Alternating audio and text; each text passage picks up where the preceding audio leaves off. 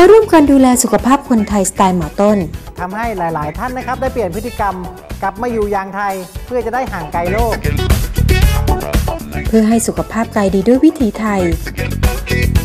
และดูแลสุขภาพใจกรรมนารมณ์ แล้วก็สามารถดูแลครอบครัวของตนเองได้ดีขึ้น ติดตามชม สุขภาพดีวิถีไทย ทาง TNN2